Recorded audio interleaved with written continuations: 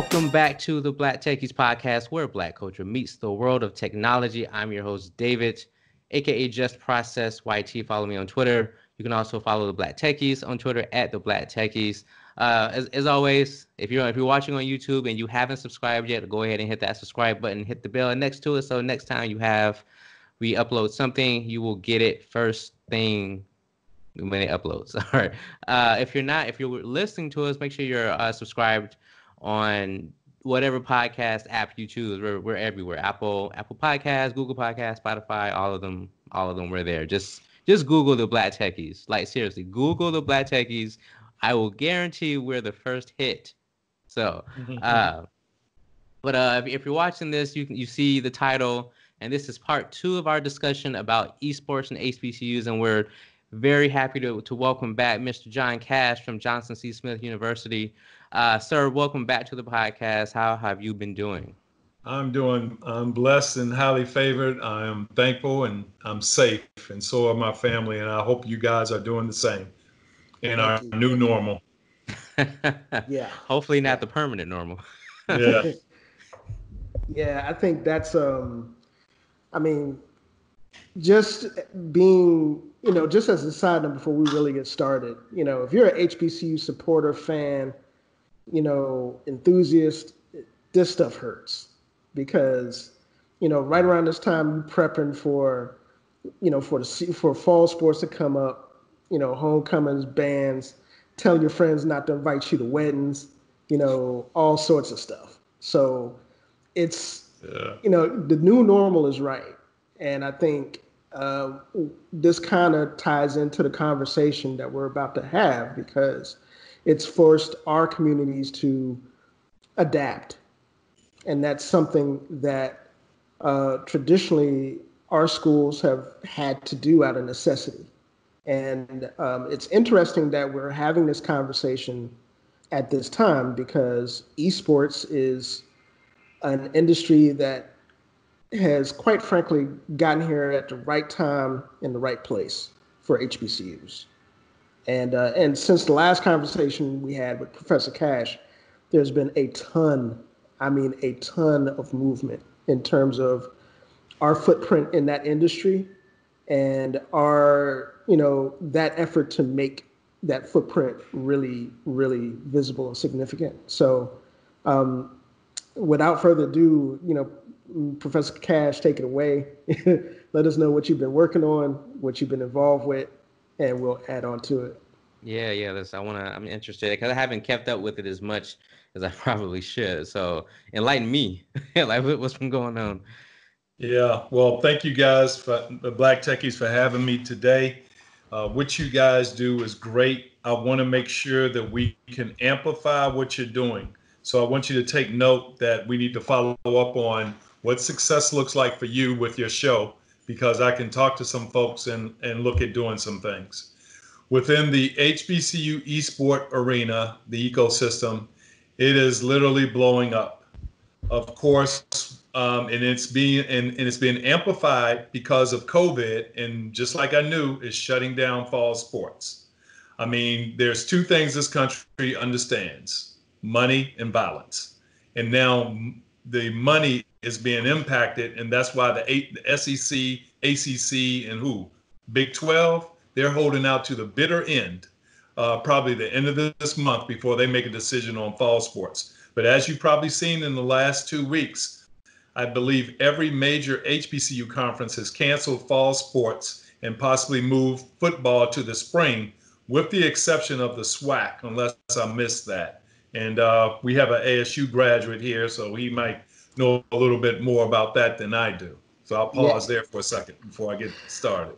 Yeah, I think the I think the SWAC is um, about to make that move. I know from some of the news I've been seeing in the last day or two, um, they're effectively, you know, uh, about to cancel fall sports or postpone them until the spring, or at least they were they were really the only conference that had that advanced plan um, in place. Uh, you know, out of all the conferences that are at FCS or FBS level. So mm-hmm. um, that's something that we kind of saw coming down the pipe.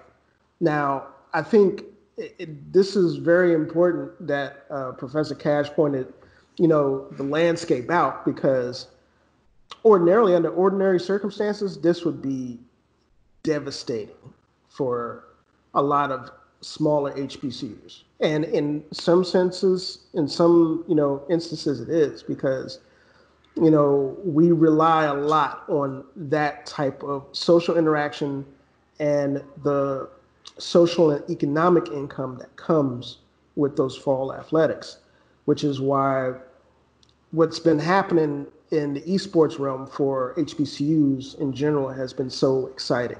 Um, the one thing that immediately comes to mind, what we've seen happen the last couple of days, uh, has been involving the MEAC, and the MEAC essentially has kind of jumped in feet first with um, with Blaze Gaming, and they are sponsoring an esports league.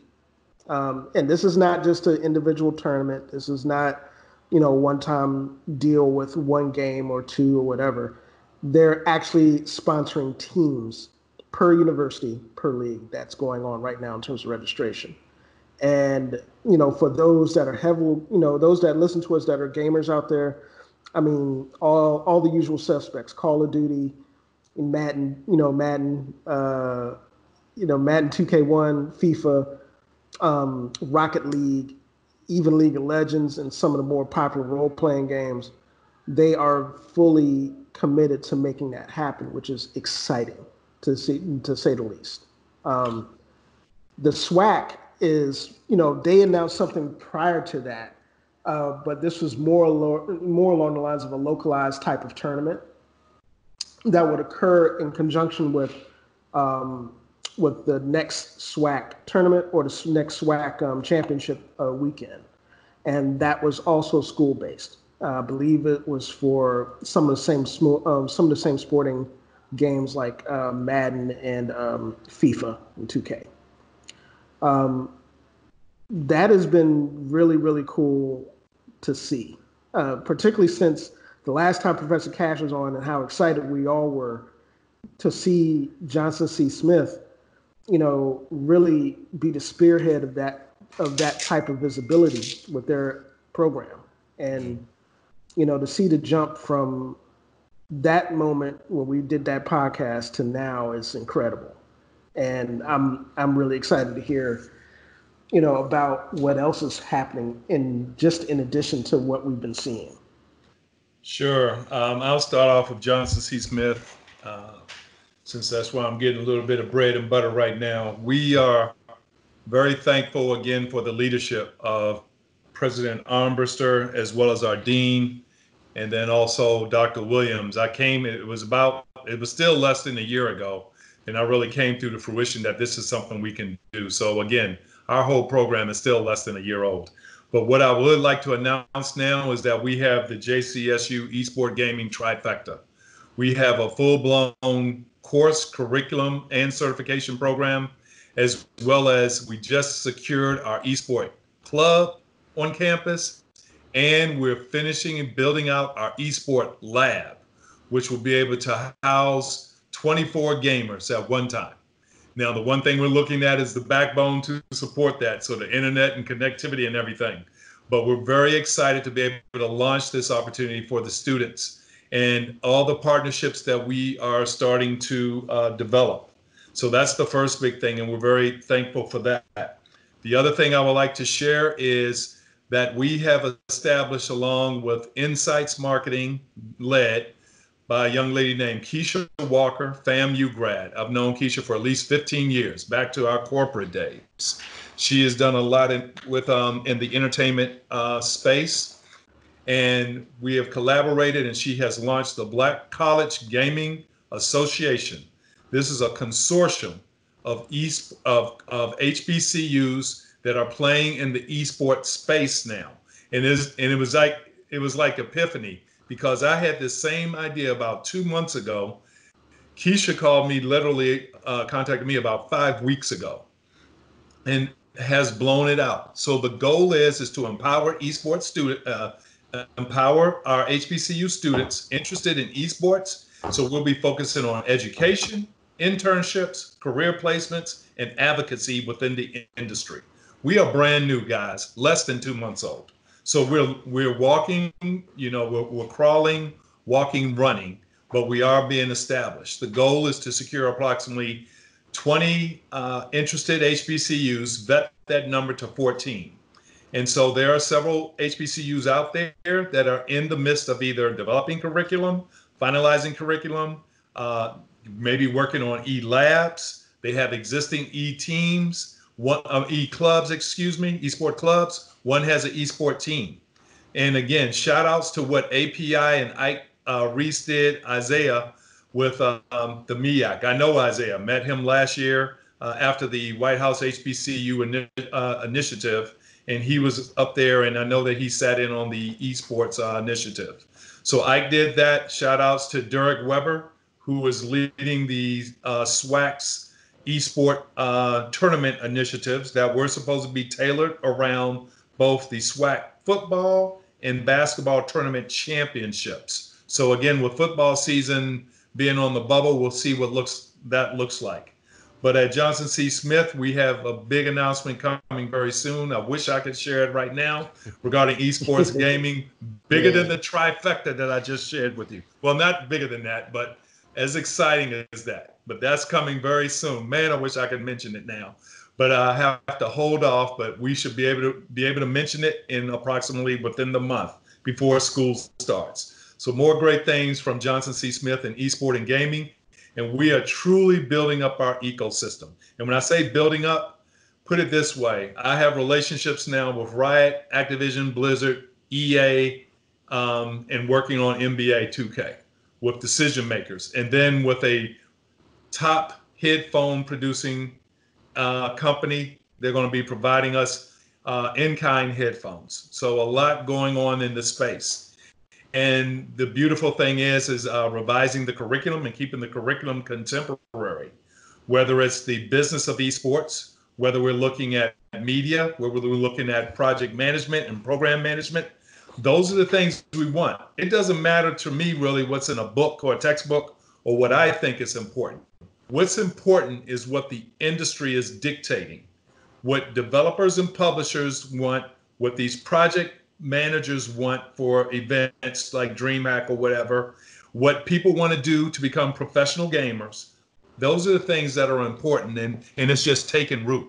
I shared with you guys before, this is like the Oklahoma land grab and it is. The, the gates yeah. are open the horses are running out and hope and our goal is that the black college gaming association helps put a context around this that we can help out with. So i'm gonna pause right there um, and then i'm gonna get into another subject to get you guys feedback. But i think things are robust but we're all hbcu graduates here and i think just traditionally from what I've seen, I went to an HBCU, I teach at an HBCU, we are more deliberate. When you look at our PWI brethren, they haven't been as deliberate. They understand we're making revenue and we're getting more students. And we're doing something that's going to, to activate us more. I still go into conversations, people ask me, what is esports gaming? Um, it's an international multi-billion dollar industry when you when you put both the esport and gaming piece, that's 150 billion dollars pre-COVID um, expectations right now. Yeah. So it's a lot more education for whatever reason that we have to go through. Um, but I, I, you can tell by my enthusiasm and what I've shared that we are crawling, walking, and running.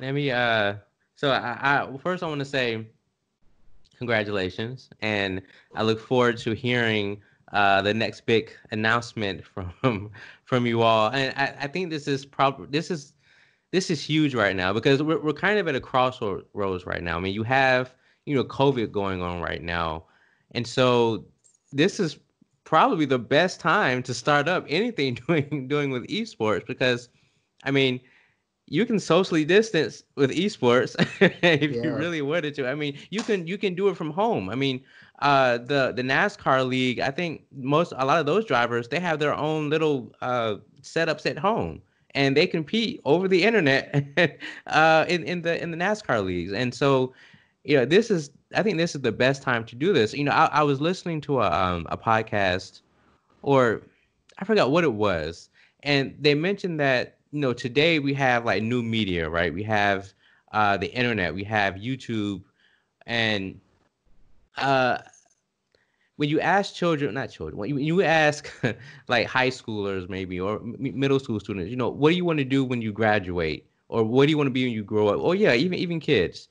A lot of them will say, "I want to be a YouTuber. I want to be an Instagrammer, or I want to I want to go into esports," because they see people like Ninja or Courage or like uh, or Doctor Disrespect, or even though he's kind of in some trouble right now, but uh, uh um like they see all these people making money or just being successful, or just doing something that they love, and it's like, well, I want to do that now. I, you know, I want to do that too. You know, if I can be successful on YouTube, just filming something on my smartphone, if I can, you know, get a budget camera and live stream myself on Twitch and get a bunch of followers and uh, affiliates and sponsors, you know, why not do that? so I think that the fact that you're that you all are doing this right now is like this is this is the best time and i think and i'm really glad that you all are doing this now and i hope that it catches on and I, am interested in seeing and i don't know if you're able to release the list of schools who have signed on but i'm i'm uh, i'm I'm this. I'm tempted to, to call up TSU and A and T. Just call them like, "Hey, Alabama State." Yeah, right. I mean, well, I'm a yeah. I can't give the list right now, but I, I will talk since I, I can share this is basically public knowledge that um, I know TSU was in the esport uh, gaming space uh, through some things that I've heard and seen recently. So they are definitely in the space. Uh, there are other universities doing things. FAMU has a good team. They have some things going on. Texas Southern University has some yeah. things going on. Um, Lincoln University and outside of Philly has some things going on. North Carolina Central has their things. Hampton had a change with, um, I think, changeover on some personnel, but I know that they're still working on initiatives. Kentucky State University has things going on there. Um, they've converted a lot of their opportunities, but they have uh, courses and curriculums coming on board. On board, um, I'll even shout out uh, a brother of mine, Dr. Mark Williams. He's at Florida Memorial University. He's about to start a mm. program there. Morehouse, like I shared, has a very good esport, one of the first esport clubs that's really been gaining traction. So a lot of contact out there. I want to take a brief moment to address the perfect opportunity. Again, I'll share this thing that really just came to light with me. History is rarely historic when you're in the middle of it.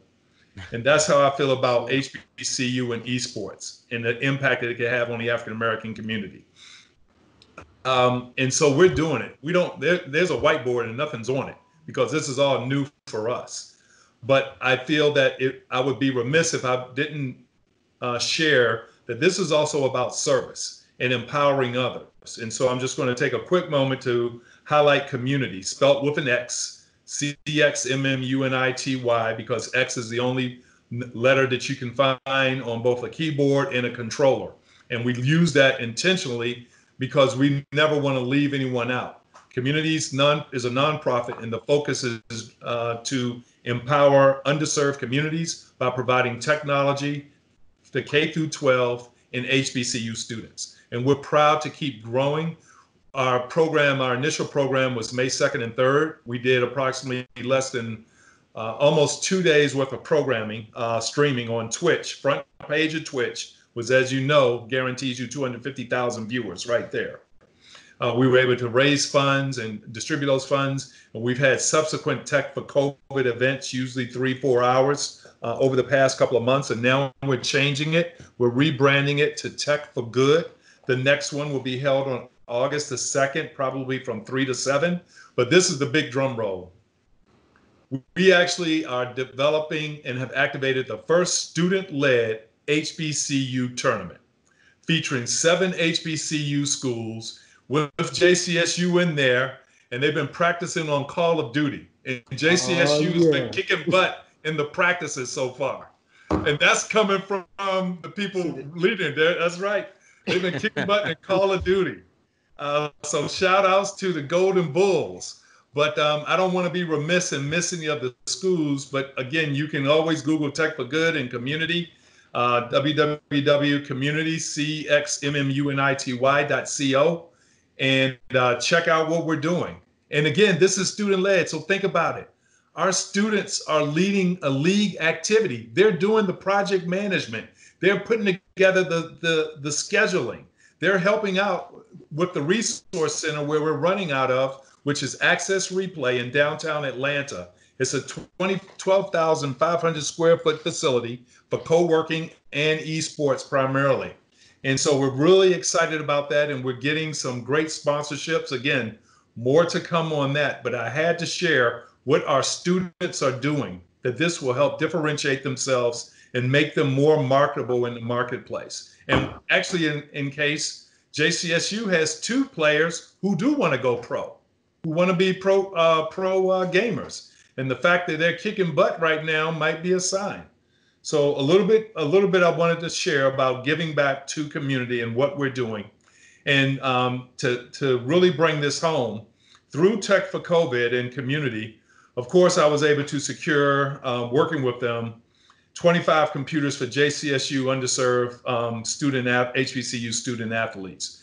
And we can't boil the ocean, guys. I'm not going to sit here and say that, but we're trying our best to make a difference in education, especially with Tech for COVID. And now you know these kids going back to schools, let alone the teachers, is scaring the crap out of me. And I feel that you're going to get students on campus or you're going to get students going to school and they're going to have to close everything right back up because we haven't been doing things as a society in the last four months that other parts of the world are doing and basically have flattened and declined their uh, COVID situation. So it is really imperative, and I share with anyone out there if there's anything you can do to help students with remote learning.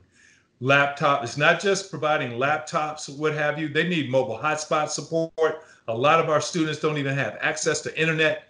And so they're they're really lacking. And we I don't have the answer to that, but I know that everybody if everybody does a little something it helps everyone maybe you can do a, a three person social distance course at a house so that student can get access to online. So i just want to share that with people as we get ready to go back to school and take care of our students and our teachers. Yeah i think that was um, well first all of that is really really exciting news. And the fact that we you know, the list of schools that you kind of ran off there, um, you know, it's kind of got me hyped already to see, you know, just what kind of products they put out um, in terms of where they're going to be at in the space. I think the other thing that came from uh, the MEAC news that was released um, in terms of them putting together a league was that inclusion of folks that are outside of a student body um, is going to be big. Um, in other words, it's you know people that are trying out don't necessarily just have to be students. They can be students, supporters of the school, staff, alumni, which is absolutely incredible in terms of exposing um, a lot of demographics to not only the, the sport of esports, but to the industry and potentially getting people to think in a long, in a little bit different way in terms of, you know, their introduction introduction to the industry, and in terms of what it could mean to communities that might not necessarily see that type of exposure. So, you know, what the MEAC is doing in terms of that league at the very beginning, in terms of its inclusiveness, is awesome. Um, I think one other thing that uh, Professor Cash mentioned that kind of goes back to one of the conversations we had way back, you know, one of our past podcasts was access and access uh, to resources and more importantly, access to technology resources. Um, if anything, if there's anything that has been proven about this crisis with COVID is that that access is not guaranteed for anybody much less disadvantaged communities. Um, I know here in the DC metropolitan area, in the area where I used to live at in, P, in Prince George's County, Maryland, there are three there are three particular cities that are working on an initiative, you know, amongst their own populations to, you know, provide infrastructure for just that. Um, you know, for, you know, internet, public internet service for all. Um, and I think uh, that's Capitol Heights, Maryland, Seat Pleasant, and uh, I believe um, I believe Largo or District Heights. And all three of those mayors of those small cities, the small towns, are, you know, kind of working in conjunction with each other to, in combination with each other, to try to, you know, build that infrastructure for things like that to happen. And the more we see, you know, these kind of the intersectionality of those technologies blend, that's when we're going to start seeing progress in our communities because you're going to, you know, the demand is going to be so big to be able to, you know, provide those resources that at some point, you know, it's not going to be about profit. It's going to be more about the opportunity to provide as well as that. So, you know, seeing a lot of the development that we see in esports, you know, kind of has me excited for a lot of other things as well because there's a lot of parallel in terms of how that growth is you know powering you know social and resource laden change in those communities so you know just hearing about this stuff is awesome and it's uh it's really exciting to see um, specific schools specific conferences um, and the really cool thing about it is that you don't have to go to a large hbcu in order to be able to partake in this. Um, it doesn't matter whether it's Tougaloo or Paul Quinn or you know Xavier or Dillard or any number of schools that we don't necessarily associate with the SWAC or the MEAC or CIAA or the SIAC. Those opportunities are there for every school that's an HBCU. All it takes is, you know, administrations and and leadership having the courage and the forethought to say, hey, look, this is a new frontier. We can benefit from it. So I'm really looking forward to seeing how that plays out. You know, I'm uh, I'm I'm I'm interested. Um, actually, just just as a uh, logistics thing, um, the the lab that you all have set up is it 24? Is it 24 computers, or you all utilizing consoles as well? like PS4, Xbox. computers. And to be quite frank, I haven't been on campus since um, May. Um, but they're going to be computers. They are actually being shipped right, right now. Um, we actually have in-kind chairs being shipped right now. Very exciting. Um, and we will be putting all that together. Again, we have approximately five weeks before school starts, September the 8th, approximately. And yes, we have uh, actual computers, and that's coming in, and we're outfitting that whole room right now. It's actually going to be residing. It looks like now in a in Johnson C. Smith has a beautiful STEM uh, focused building, and it will we will have a designated area in there to show off and have that outfitted. I, again, if I would have to say for HBCUs overall, we need to ensure we have proper bandwidth for teams to compete and practice because the students are in their dorm rooms or they're in their off-campus apartments and probably are working pretty well. But uh, unfortunately, a, a lot of our institutions do not have the internet connectivity and the sophistication across the line for a proper gaming experience.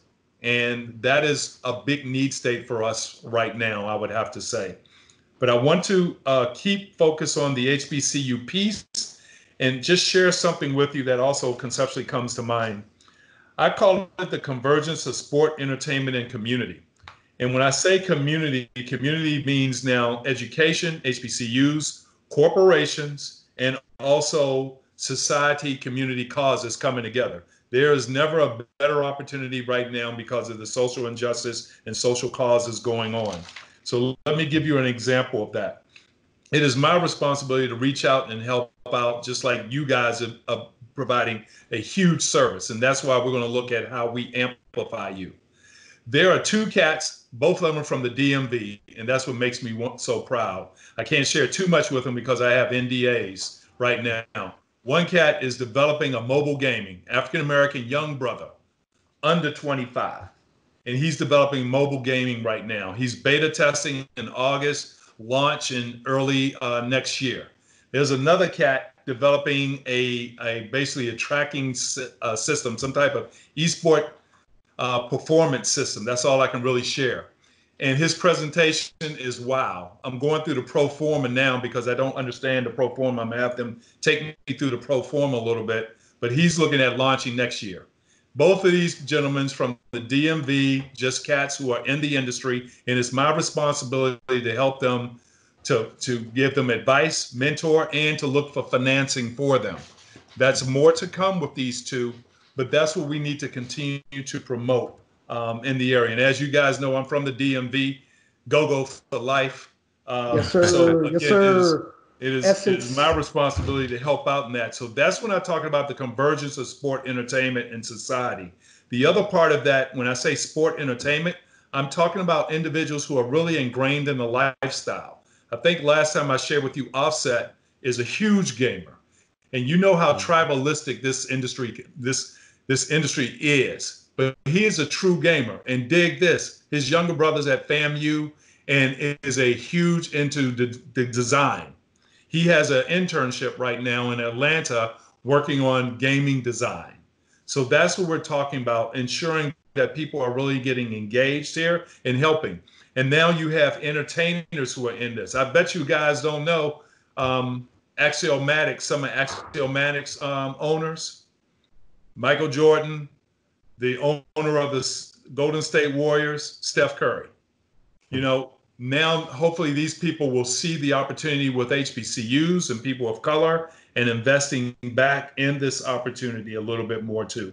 So that's some of the things that I think about also when we're talking about HBCUs. We also need to talk about community because the, the average HBCU, quite frankly, is found in the hood, or that hood now is being gentrified. Gentrified. Howard University. Howard. Oh, did I say yeah, that? Yeah. Yeah. yeah. JCSU. Oh, yeah. did I say that? But yeah, that's going on. But we're not going to leave our youth behind because these K through 12s that we're we're matriculating, they have to go to school somewhere too. And we need to empower HBCUs with the curriculums and opportunities that are going to make them more than competitive in the in society. And then lastly, these companies. I've worked in corporate, so I know it. Be it Coca-Cola, been there. Bank of America, been there. Procter & Gamble, been there. I'm hearing all that talk now. I've been being quiet because I want to see what's going to happen in September. I want to see what happens after the elections and where people are coming. So we have to hold corporations credible. Think about it. Again, you got to remember what the African American um, uh, purchasing power would make us the 17th largest uh, country in, far, in, in terms of revenue of what we spend. Uh, if we were a country, we would be ranked 17th. And so we have to hold um, companies accountable across the industries. And I feel that the esport and gaming industry is recognizing that too, because think about it 83% of all African Americans uh, within a specific range, I don't know the age range, but they game versus 72% for the general market. We over index, we under index, well, we're a lower percentage of the population, but over index in gaming. So, you know, these are the things that we have to share with people and, and, and encourage because this is impact what we're doing um, and knowing the nuances of how we continue to grow this. So that's my little diatribe regarding sport entertainment and society, and then also empowering our communities and holding companies accountable and leveraging our sports and entertainers um, in this space. Well, let me real, real, quick, man. The fact that you're from the DMV, uh, uh, you you I mean you you got mad cool points from me because I'm a, I'm a DC native uh, born and raised, you know, born in Greater Southeast Community Hospital, grew up in Northwest, went to school out in PG County, Eleanor Roosevelt. So Duval. Oh God. Okay. and cost yeah. high. Yeah, and uh, and I mean, the DMV is really um, it has the potential to be a real hotbed for this type of expansion in terms of the technology that we're talking about because of not only the you know, it's a it's a real big seat in terms of technology, information technology, um, and new edge industry in general. So, you know, when we talk about, you know, when we talk about these things in terms of our communities, and Howard immediately comes to mind. You know, I, I, you know, I'd spent a lot of time in and around campus, you know, teaching information security in after school programs um, in the Shaw neighborhood. And first thing those kids that I've encountered from, you know, from sixth grade to, you know, starting first year of high school, um, those kids are already technically savvy innately. And the only thing is, is that the guidance to get into specific careers, the guidance to be able to take a look at how the things they normally do and take for granted, like gaming, you know, can translate into really effective changes of lifestyle and career. Um, that is something that seeing this type of growth, you know, kind of excites me in terms of how we can translate that into more opportunities for kids to see the same thing. And I know in teaching those things, I've been in the information technology field for over 20 years. I've done everything from operation support to web development to information security to you name it. So, you know, I'm, I'm what you would call a generalist. So it's essentially um, one of those things where this is a brand new frontier for the same type of kids to be able to get in on the ground level, hands on, that don't necessarily have to have the impediments or roadblocks that, you know, folks that came before them had to go through. So, you know, when we see things like that happen and develop, you know, it's really, really cool to see them develop. And You know, go ahead, Dave. I'm sorry. so I like how you how you how you brought up the the HBCU aspect of, of how this is how this is kind of coming to fruition. So you know we've seen lately that a lot of uh, top tier high school talent is now are now you know are now choosing HBCUs to go to instead of you know top you know PWI schools and Yeah. uh, I I I I wonder if this is also a way to kind of you know take take the the the black e athletes if you will and you know kind of push them towards HBCUs and you know the reason I say that is so you know every once in a while I'll I'll get a comment about you know why are you called the black techie? You know why not just the techies? You know isn't that isn't that divisive? Or aren't you you know if they were white techies then you'd be like oh that's racist. It is. But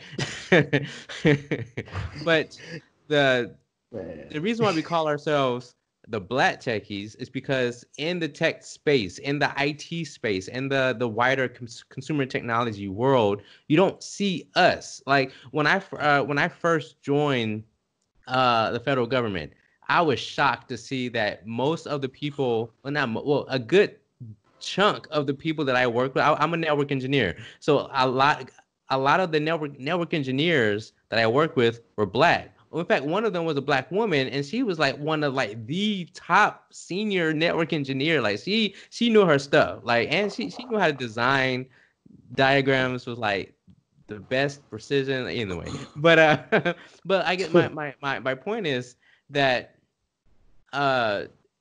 thi- This is an opportunity for people who didn't think that this is something they should do.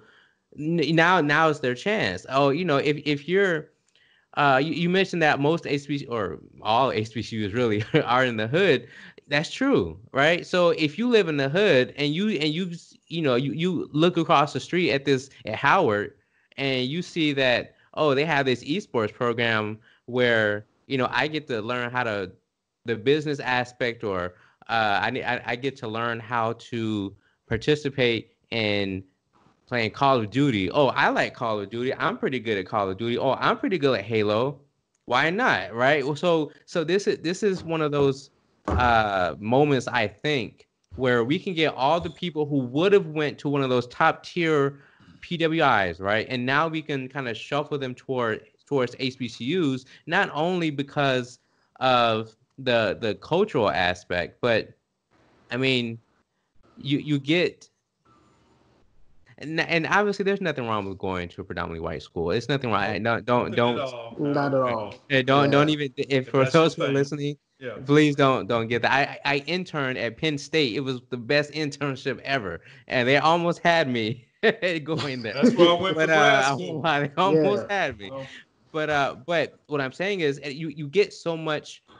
There there's so much of of black culture that you get at an HBCU that you just can't get anywhere else. So you combine the richness of an HBCU, the culture aspect of the HBCU, combined with esports and all of the other extracurricular things that you can do you can now you kind of get the whole thing. And then that lifts the entire black community up at the same time. And now we're competing. Now we're we're um yeah we're competing at the same level as the you know the larger schools. So i don't know. I, I think that yeah. this is a really big moment for black athletes black e athletes to kind of you know look at their options and say hey all right i was going to go to you know ohio state but you know johnson c smith over there they got this esports program and i like esports you know you know so i'm just I don't know. Yeah. And it's cheaper, probably. Right. I mean, I'm just saying. It's it's a cultural thing, and first of all, diversity is fine. It's just being e- equality is the thing. We all just want equality. We all just want to be respected. It goes back to the golden rule: treat others the way you want to treat you. You know, you want to be treated. But the one other thing I wanted to share um, before we might get to a time constraint, you guys will keep me happy, uh, keep me close here is that there's another big event coming up in a couple of days. It's called the HBCU Africa Homecoming. This is the second or third year of the event, and of course, we have to do it virtual. Last year was held in Accra, Accra if I'm saying that properly, Ghana, at Accra, the University yeah. of Accra. And uh, HBCU graduate, his name is Kwabena Boateng, is doing it, and one of the main people activating it. I'm going to be on. I'm going to be moderating one panel on sport entertainment and then I'll be sitting on the uh, esport panel. It's it's July 23rd through the 25th. You can go online and register. Again, HBCU Africa Homecoming. And we just don't talk about tech. We talk about all industries and opportunities. And think about the opportunity to uplift the African diaspora. That is what the goal is. Whether it's fintech, cybersecurity, education, health and wellness, esports, entertainment, sports. And you guys mentioned Makur Maker, if I'm saying his name correct, the Kenyan yep. Australian brother who's going to where? Ain't you?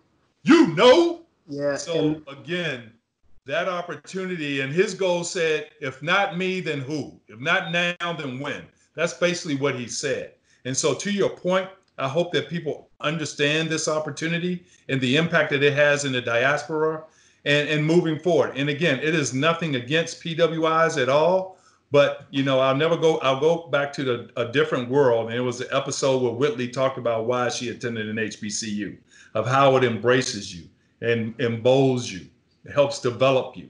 And I guarantee you don't get that at a PWI.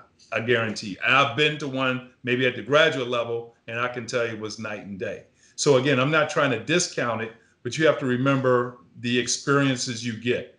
And a lot of times I hear a lot of people who've gone to PWIs is like they're playing um, linebacker. They're in that linebacker pose because their head's on a swivel. You don't know what to think, what to do sometimes, but at least you have a more accepting environment. So we're going to continue empowerment. Look at how far we have come, guys. About if you look at your HBCU esport gaming conversations from last year, this time to now. Look how far we've come in just this year during a pandemic in yeah. seven months. This is warp speed stuff to us, and we're going to continue to move forward. Um, and I'm, I give props to everybody who's out there doing something in this space, who's doing it genuinely and morally for the right purposes in HBCUs across the conferences, um, the industry leaders, and the people who are, are helping educate uh, like myself. Lord knows, I know I don't know it all. That's why I talk to people like you. When I'm the smart, uh, if I'm the smartest person in the room, it's time to find a new room. So I, I appreciate what you guys are doing. And again, I'm shouting out to all your audience. We're getting these cats to the next level. I'm gonna do what I can because what they have is not a black voice, it's not a white voice. They're espousing for industry growth. They're just focusing on the opportunity of the underserved. So just try to be objective in thought and understand that. Seek first to understand, then to be understood. If we all do that more, I think we'll come at a at a different spot for acceptance. Yeah, And that, I think that's a um, mantra. That's a mantra for life.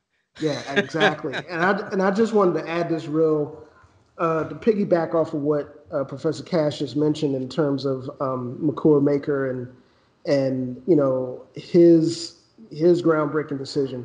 You know, for those of y'all out there that don't know, my side hustle, I'm a college basketball contributor for Busting Brackets for uh, Fansided, and uh, one of the first articles I had to write um, had to do with Makur Maker's impact on MEAC basketball. I cover MEAC basketball, SWAC basketball in the University of Maryland. And the intersectionality of those kind of moments, whether it's esports, whether it's regular sports, when one of us makes a decision like that, it really it really magnifies how important that intersectionality is. I know in my Twitter feeds, I you know I spend a lot of time on Twitter these days because you know I I'm following the news in terms of college basketball in addition to the news as it associates with this podcast and technology. So I spend a lot of my time, um, you know, in my side hustle time. I, I'm not going to say that for my regular job because uh, I still work in IT. You guys listen, uh, yeah, you know, I, yeah, I, I'm yeah, I'm doing my work, but essentially, you know, the intersectionality of those types of moments is big. I know when when Maker made that, you know, made that commitment and Kenny Blakeney, um, you know, we, you know, Kenny Blakeney, I mean, those folks that are from the DMV know who Kenny Blakeney is. He played at DeMatha, um, even though he kind of went to the evil empire at Duke, but we, we can't talk about that. You know, we'll, we'll forgive him. But, um, you know, he and a, and a whole bunch of cast that are on that, on that staff at Howard, you know, have kind of leveraged new media, just like a lot of HBCUs are doing right now. Same thing with um, brother at Morgan State. Used to be at uh, on um, on University of Maryland basketball's um, coaching uh, coaching roster. Uh, Kevin Broadus, he's brought in a heavy recruiting class, and all of that stuff is kind of being, all of that stuff is kind of intertwined in a way because of the technology that we're dealing with. Um, in a, in our realm of esports, that I mean that type of exposure is that type of exposure is the same type of exposure that's powering the interest in esports among HBCU institutions, HBCU supporters. I mean, I've been approached by so many people since we started doing the podcast and since we started talking about specific things like esports and and HBCUs and being involved in the industry um, that it, I never expected to see that type of interest before. Before we started this podcast and before we started really, really exploring those possibilities. So, you know, the fact that those things kind of, you know, bleed and blend into each other in terms of that type of intersectionality is huge. And it's something that is one of those byproducts that could really be beneficial for HBCUs, Black community at large, and in terms of another platform for that type of leveling of the playing field. And it's it's big stuff. And I mean, you guys are absolutely right. We did. We, it's hard for us to say, you know, it's going to be history in the moment because we're seeing all these things develop, and we don't know what that path is going to be.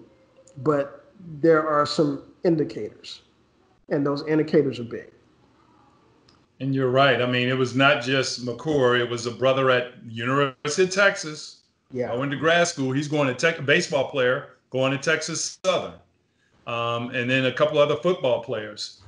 And when we're talking about industry, also uh, to focus more again on the esport piece and what some of your avid listeners might be listening to, I would also have to make sure that I mention Beasley uh, Media Group, Beasley Esports, and Checkpoint XP.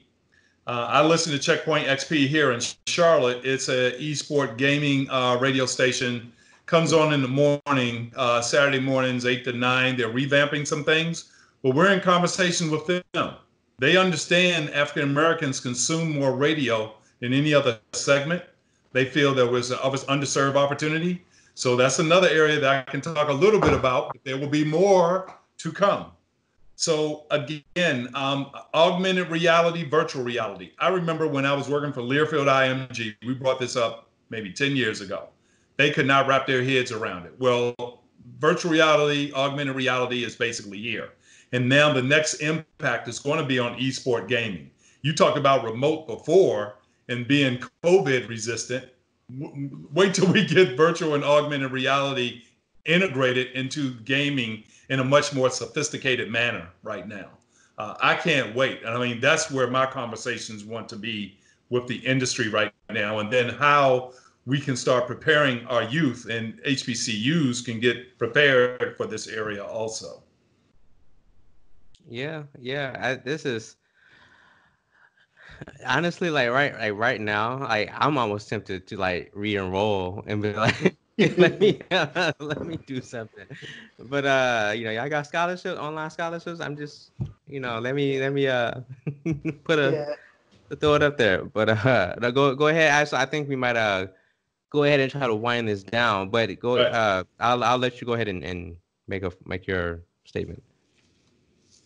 No, no, I'm good. I'm just thankful to Black Techies and everything that you guys do in this space to help empower the message in general and amplify the opportunity with the African American community. And for all the listeners out there, first of all, I'm a Christian. So, regardless of all your listeners out there, you are my brothers and sisters in faith, regardless of how you feel, because I love you from the heart, not just the head. And just again, try to keep an open mind and be objective.